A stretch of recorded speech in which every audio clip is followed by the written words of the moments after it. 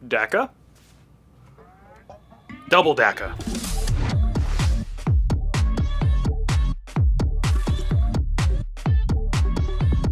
What's good everybody, my name is Valour and welcome back to ValTek Armory. And you know, I don't think that the hobby would be as far as it is now without the advent of home 3D printers. Because practically anybody with a little bit of know-how and a 3D printer can make a blaster design that is completely new and different. Case in point, the Chelicerae by Mags Blasters. Basically, this is a double bolter in Nerf.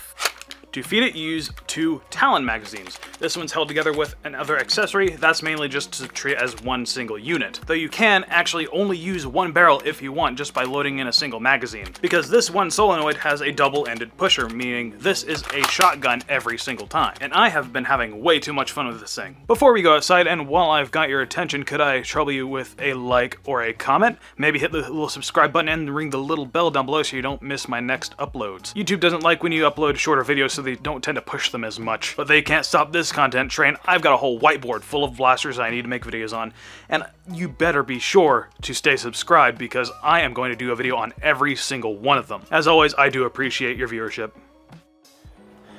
Alright, you know the drill. Got the blaster, got some mags, going to flip all of the switches on just so I have the voltmeter and all the extra effects. I have a camera down there this time, so hopefully we'll actually see uh, the darts hitting things. Uh, we're about 30 feet away. Since this is a shotgun, I kind of want to have it for that sort of range. And this is only Fly Over the World, so it's not going to hit the furthest ranges anyway. So let's get to it.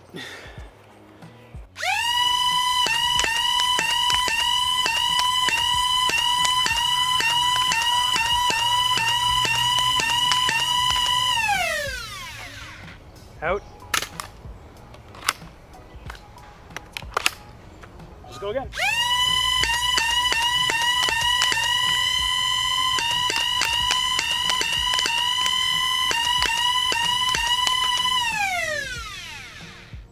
A lot of those were splitting the tree, though that can be quite useful, especially if you're playing HVZ, and uh, yeah, you could basically keep a zombie in between where you're shooting so someone else can take them out.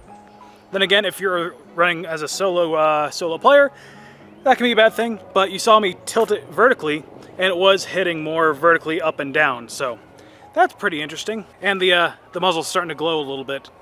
But yeah, it's a neat little blaster, though I would like to see in future revisions maybe a select fire mechanism that allows you to go from firing alternating barrels to then firing both barrels at once. That way you could have, with standard Talons, up to 30 rounds of constant firing, or maybe even 60 if you're using double Tachi magazines. Which, yes, it fits, but the pusher head on it is a little bit too wide to actually fit between the lips of the Tachi magazine because they're slightly narrower than a standard Talon. But that's something really easy to do in CAD software, so that's not much of an issue if you're just running standard Which a lot of people will be doing anyway. And the grip is slightly too short for my hands. You can see the bottom of my palm kind of overshadows the battery box down here, which that is a nice little feature that the battery box is toolless. It just has a small little spring-loaded ring that acts as the catch, and then you can pivot it out to access your battery, and there is plenty of space in this blaster. The only other thing I'd really want to add to this blaster in terms of usability would be the addition of a full blaster kill switch. There are three switches under the trigger guard that activate the voltmeter, the muzzle flash, and the strobe on top of the blaster, but there is no way to completely turn off the blaster. Realistically, that shouldn't be that hard to do considering it's just a single switch, maybe hooked up to a MOSFET to control the full power of the thing. And some people might not like these exposed flywheel cage wires, though these are actually in a nice spiral cable wrap to keep them more safe.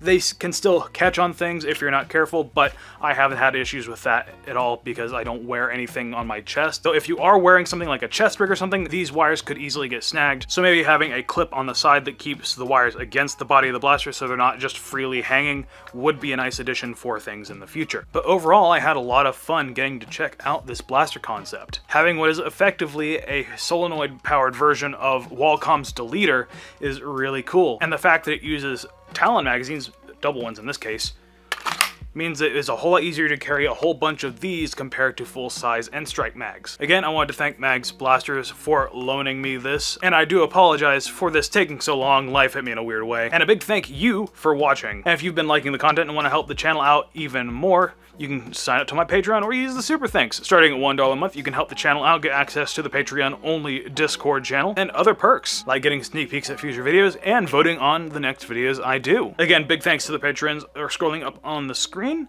as ever, my name is Valour. Thanks for watching.